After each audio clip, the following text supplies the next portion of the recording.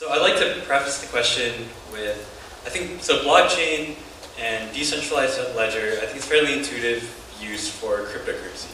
But there's a lot of hype of using blockchain for other applications. And I'm particularly interested in supply chain, and particularly food supply chain, um, where there's a lot of hype in that area for using blockchain. But I, I think the biggest problem in sort of food supply chain, particularly ag supply chain, is falsification of input, Yes. not necessarily attacks on the ledger. So is blockchain really the right use in that scenario? Um, the fundamental problem that you're facing, which is common to many other, let's call them adjacent problems, is is the issue of custodial control over the primary asset if that primary asset is not held on chain. The advantage of something like a native or intrinsic asset like Bitcoin is that all ownership is settled through one way only, and that is the on-chain transaction. If you have something that instead corresponds to a certificate of gold or access to a car or a real estate record or the providence of food, then you now have an intermediary, and that intermediary is the custodian of the actual asset that you're representing with a token.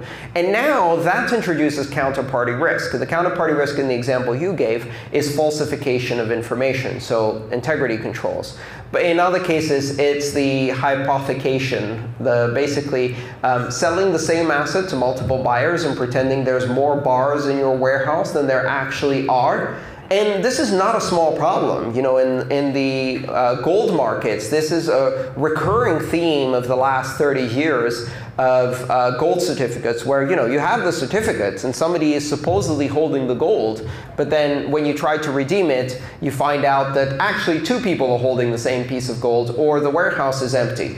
Um, that counterparty risk is the whole reason why blockchains are interesting because we can remove it for intrinsic native assets to the blockchain. Uh, which also means trying to solve problems where what you're tracking is ownership of assets that are not intrinsic to the blockchain is not an easy problem. Uh, and to solve it with a blockchain, if you eventually end up having counterparty risk anyway, and you didn't achieve disintermediation, maybe that just wasted your time. Um, you know, so the being able to record securely and immutably records in a database, if you can't ensure that those records correspond to reality in the world, uh, isn't very useful as a solution space. Um, and that's why I'm skeptical of a lot of these projects. That doesn't mean they won't happen, um, but that means that they can't easily happen today. Um, I'll give you one example which I think is really interesting and illustrates this problem.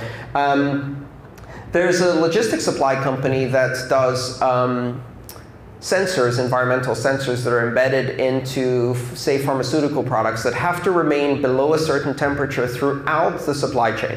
So you ship this thing, and if, if it goes above zero Celsius, it's it's broken, right? It's trash. You have to throw it away. At any moment in time, if it goes above that temperature, even for a second, it's done. So what happens if you have a truck that's refrigerated and you want to track whether all of the things in the truck are actually kept to the correct temperature? Great. So you put a tamper-proof sensor on every pallet. And, and this is how technologists think. They think, OK, how do we solve this? Um, Internet of Things, machine learning, big data, blockchain. Meanwhile, this is how the truck driver sees it.